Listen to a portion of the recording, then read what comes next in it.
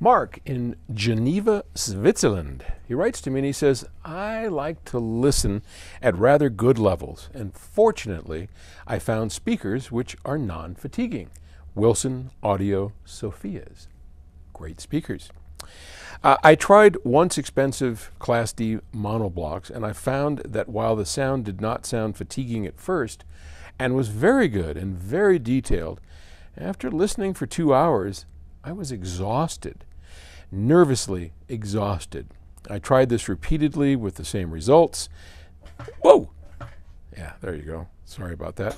Uh, I tried this repeatedly with the same results, then gave those amps back and bought secondhand Bryston monoblocks, which are not fatiguing at all, even though they are not as good and not as revealing. Is it just me? No, sorry, Mark, it is not just you. But let's not condemn an entire class of amplifiers because many of them have this characteristic.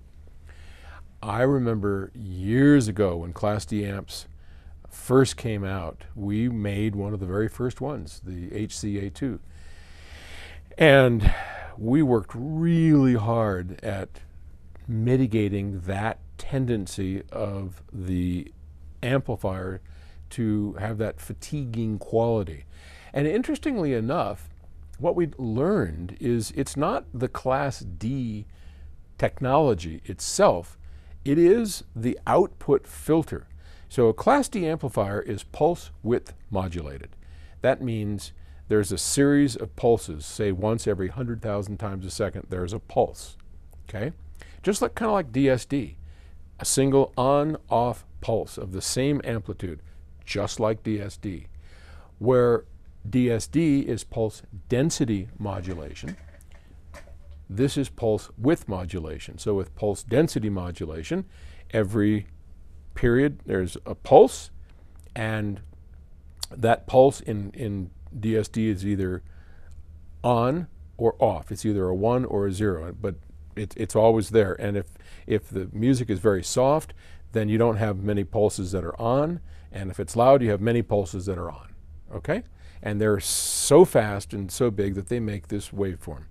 In a pulse width modulated scene, every single time there is a pulse, it is either exceedingly narrow for a soft sound or it's very wide and it can only go so wide. And so that if uh, as each pulse happens, it gets wider or narrower, so it's on longer or off longer, but always within that same window. Okay, so that technology, while it's limited in its dynamic range, where pulse density modulation of DSD is not limited in its dynamic range, not as limited.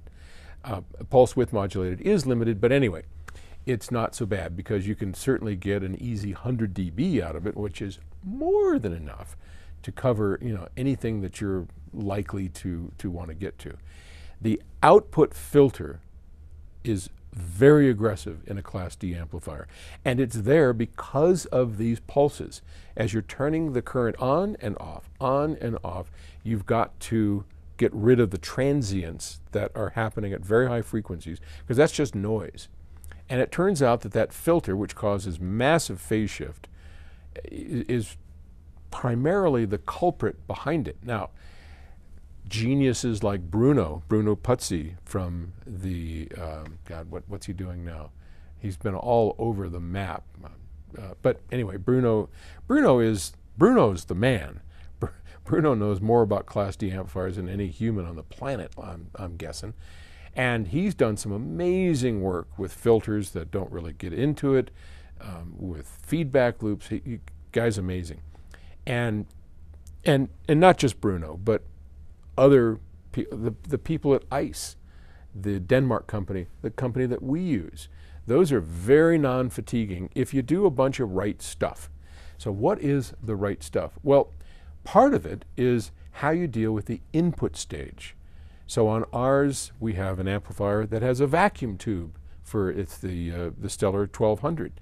I guarantee you, Mark, you take a Stellar an M1200 with its vacuum tube input stage and its ICE Class D output stage, and you put it on those Wilsons, you'd be in heaven.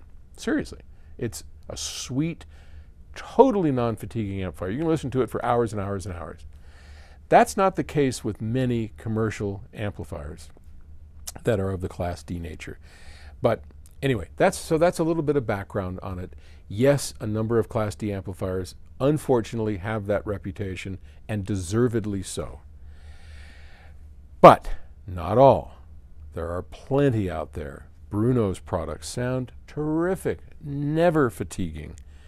Our products, our Class D products, never fatiguing, ever. And so the technology is just something that you need to be aware of and just be careful because it doesn't have to be that way with Class D. Okay. Thanks for the question.